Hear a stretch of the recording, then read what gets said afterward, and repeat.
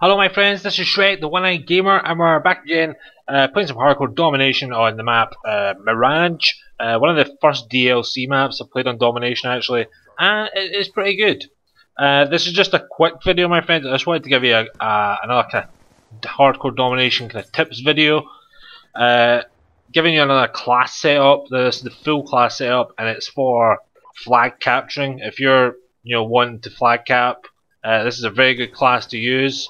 Um, see, I get my capture kill uh, as capturing the C flag, and straight onto the lightning strike, uh, which is pretty good. So let's get straight down and dirty into it.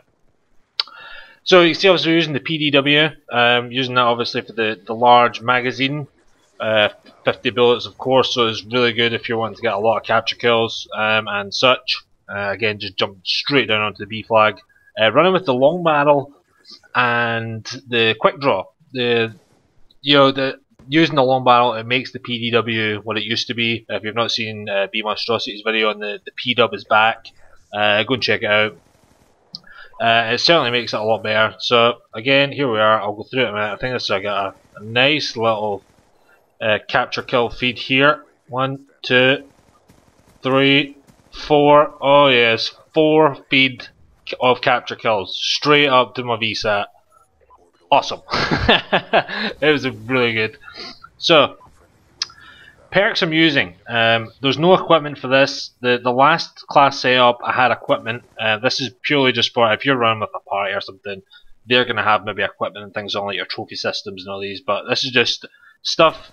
The perks are basically basically gonna help you when you're capturing flags, and it'll stop you against you know whatever um, shit gets thrown your way. So we're running hard line flak jacket, hardwired, which is a, a, very strange perk to be using, but obviously helps you against those counter UAVs and EMPs, uh, which is very good.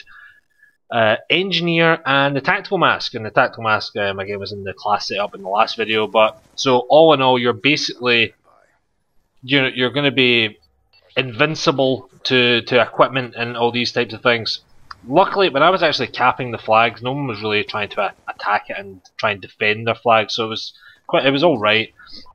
Um, I think I go on like a 15 gun streak or something in this game. I actually had to back out, um, so I didn't actually get to finish the, the entire. I didn't get to finish the first half.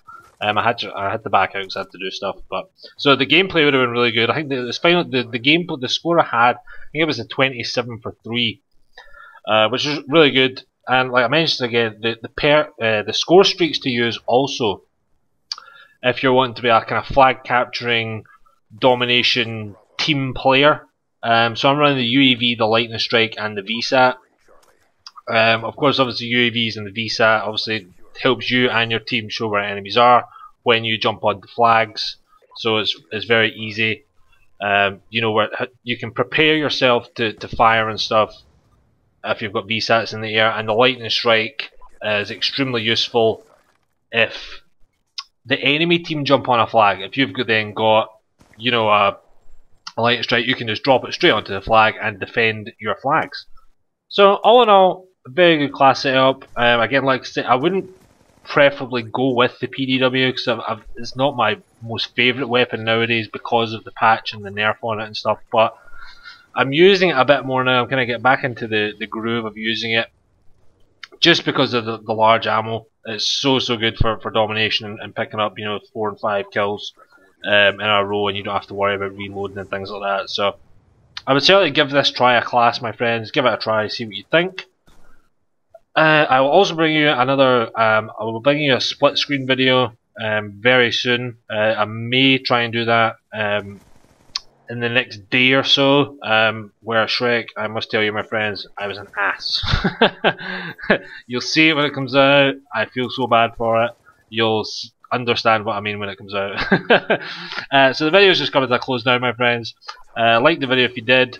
Um, subscribe if you've never seen me before, and if you have any other class setups uh, for helping you out in domination, things like that, let me know them. And I shall see you all later, my friends. Adios, amigos.